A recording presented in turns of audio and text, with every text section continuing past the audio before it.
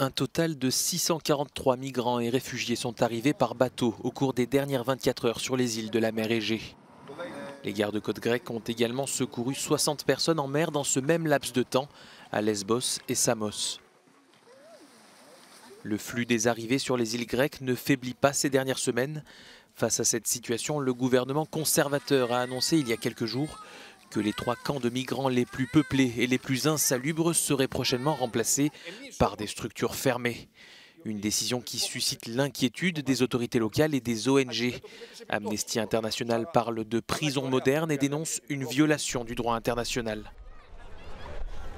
Selon les chiffres gouvernementaux, 37 000 demandeurs d'asile sont dans l'attente sur les îles grecques et des centaines d'autres arrivent chaque jour à la faveur des conditions météorologiques.